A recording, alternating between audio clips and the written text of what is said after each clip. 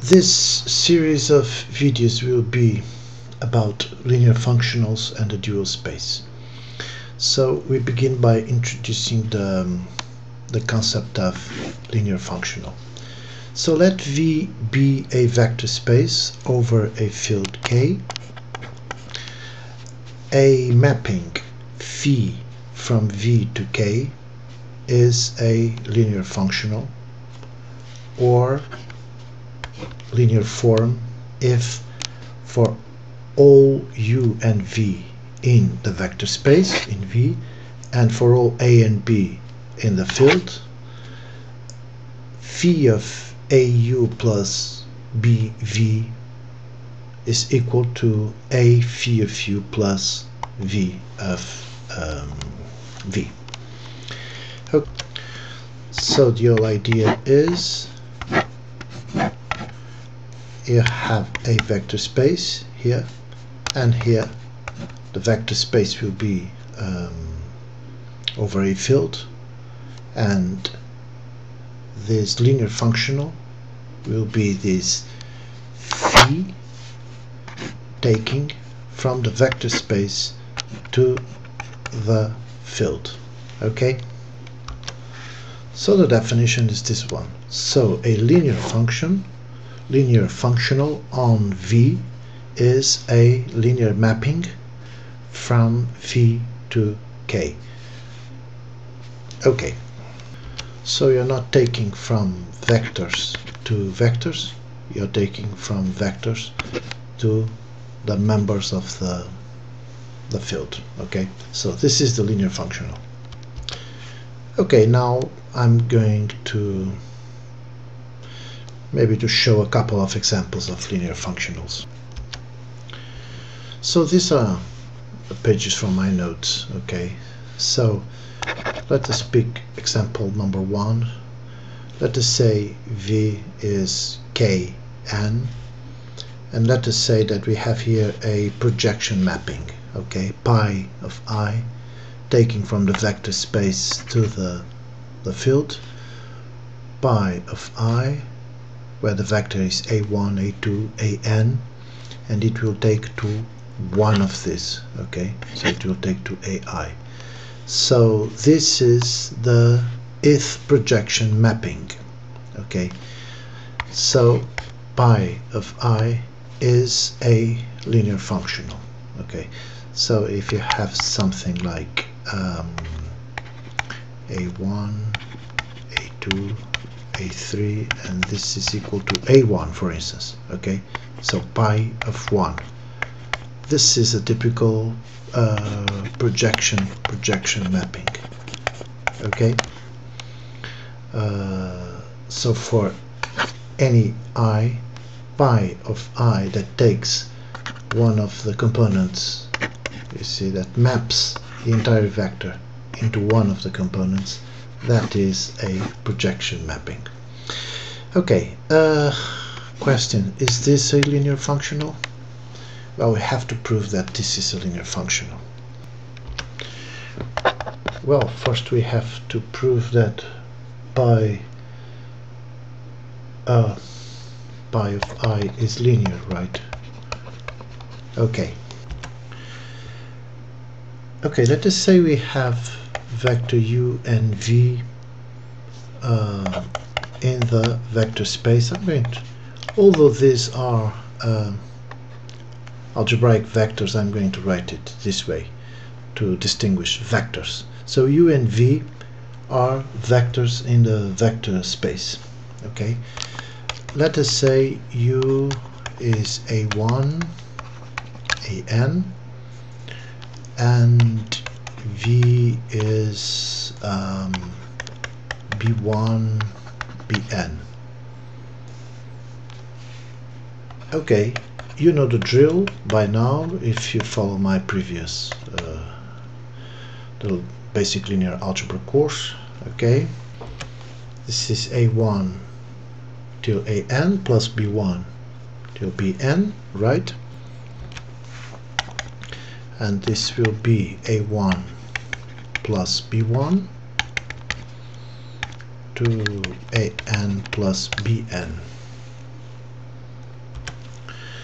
so by uh, projection on the on i uh, plus v this will be the same as this ai plus bi right? So that will be pi i f u plus pi i v. Okay checked for this. Okay what about ku what is this? This will be a um, a 1 a n right?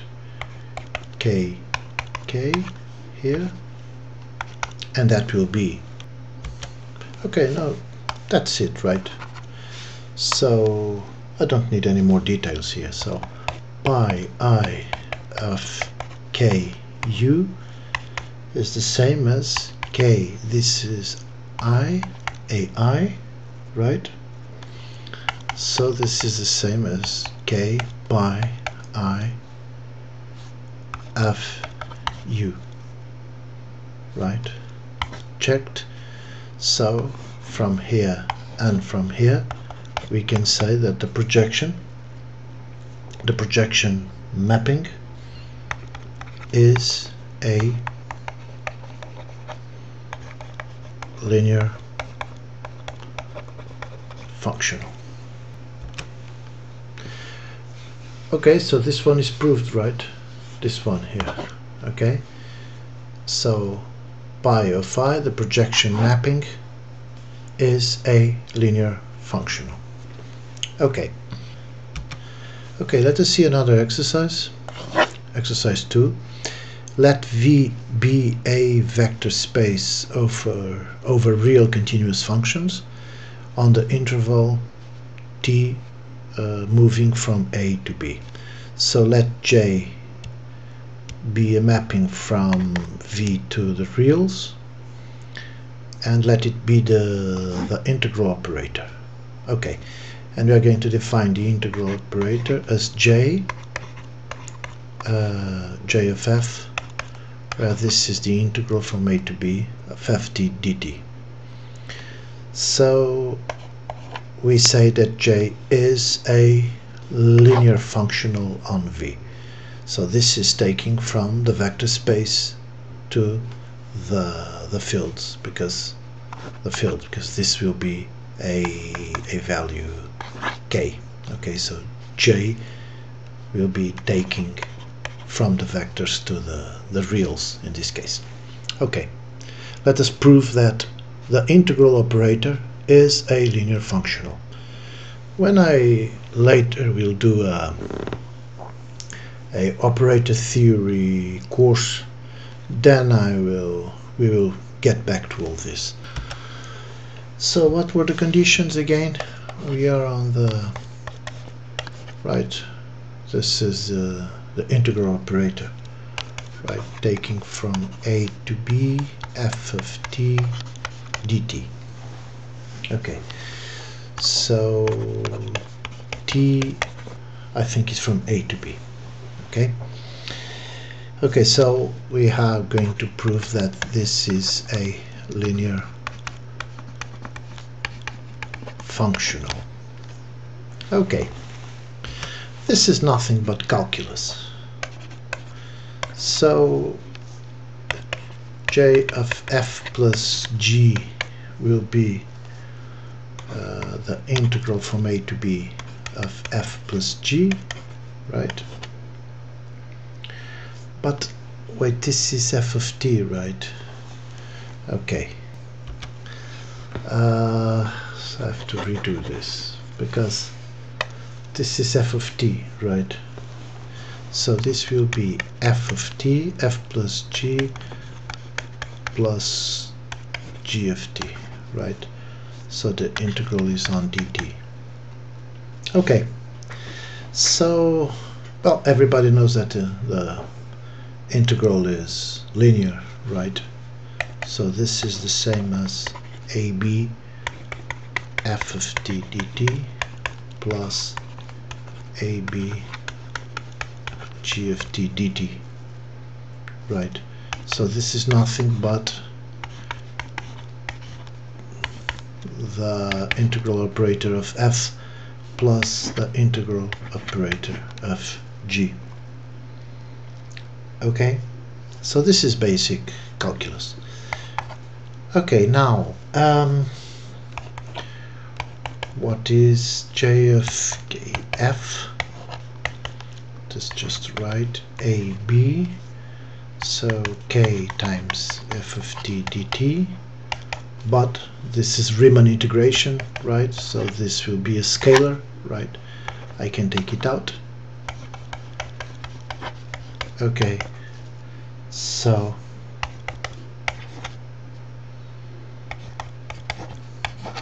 okay so from here and here we just check that J is linear. And for that is a uh, linear functional okay? So J is taking from the uh, vector space where the vector space are functions real continuous functions okay? On this interval made to be and this is taking to the reals okay?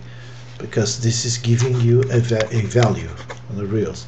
Every time you perform an integral you get a value okay? So this is a linear function okay so this is checked that if V is a vector space a vector space where the vectors are functions okay the vectors here are functions real continuous functions defined here the the integral operator defined this way is a linear functional okay let us do another exercise. Uh, we are going to see that t taking from the vector space to the field K uh, defined by the trace mapping okay? I think you can well you can check that in my previous videos on basic linear algebra. The trace mapping is well the trace of a matrix is the simple addition of the main diagonal okay? So here we have the trace mapping so the sum of its diagonal elements okay of a given matrix. So the trace is a linear functional okay? So T assigns to a matrix A the sum of its diagonal elements okay? Let us check if the trace is a linear functional well I'm not going to to get into details so the trace of a plus b uh, you can easily check that it is the trace of a plus the trace of b right? And the trace of k a is the same as the trace of uh, k uh, transformation of a okay so the trace map is a linear functional on the vector space where the vectors here are matrices. In the previous example the, the, the vectors were functions. Here the vectors are matrices. So we just checked that the, the trace. Uh, so this transformation takes a matrix from the vector space to the field. The trace is a linear functional. Okay next as exercise. We are going to see if the determinant from a vector space to the field when you take the determinant you do get a value right? That value is in the field okay the determinant we are going to see that this is not a linear functional So this is more or less basic. Uh, determinant is not linear. This is one of those lessons from very first lessons in linear algebra okay just pick some one one zero let me pick a very simple very simple examples. And b let us I don't know zero zero zero one. Okay. So the determinant of a 1 times 0 0 right? And determinant of b 0 times 1 that's 0 2 right? But the determinant of a plus b will be um, we will get the if we add a plus b right we are getting 0 1 0 this is the identity matrix okay? So this will be the determinant of the identity and the determinant of ident the identity is certainly not equal to the determinant of a plus the determinant of b okay? So d is not a linear functional okay so we just showed that the determinant taking from the vector space to the field is not a linear functional. So here we can see that we have some sort of mapping or an operator that is uh, a functional but is not linear okay? The determinant is a functional because it takes from the vector space to the to the field but is not a linear functional. Now here we have the derivative operator um, and here we are going to see a uh, operator that it is um, linear but is not functional okay? So the determinant was a functional but not linear. And here we have the, the derivative that it is linear but is not uh, functional so we are going to define the, the, the derivative operator this is from basic calculus okay so we take um, a function from the vector, so the vector space will be functions again. Uh, let us say continuous real functions, okay, and we simply take the derivative, okay. I should d dt f of t, right? So the oh, okay, okay, well, I, I can write this or not. Okay, okay, d df dt, okay, the the derivative Okay, so this is really um, more or less uh, obvious, right? Because the um, when you have a function and you take the derivative of the function, right? I can write it this way. You see, you get another function. Okay, so you don't get a value, a real value. Okay, you get another function. So you're taking from one vector space where you have one function taking to another vector space where you have uh, functions too. So the derivative operator is linear. The derivative operator is linear. Okay, but does not map the, the, the derivative does not take from the vectors to the field. Takes from the vectors to another vector space. Okay? So D is not a linear not a linear function on this vector space